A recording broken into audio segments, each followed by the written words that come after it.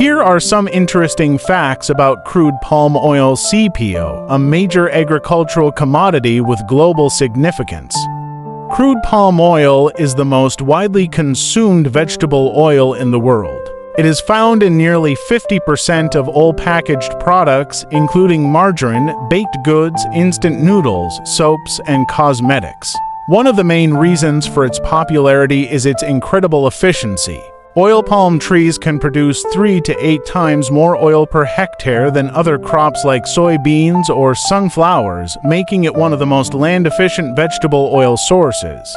CPO has a distinctive reddish-orange color due to its high beta-carotene content, which is a precursor to vitamin A. This color is usually removed during the refining process, the largest producers of crude palm oil are Indonesia and Malaysia, which together account for over 85% of the global supply. In addition to food and cosmetic uses, palm oil is also used as a biofuel in some countries.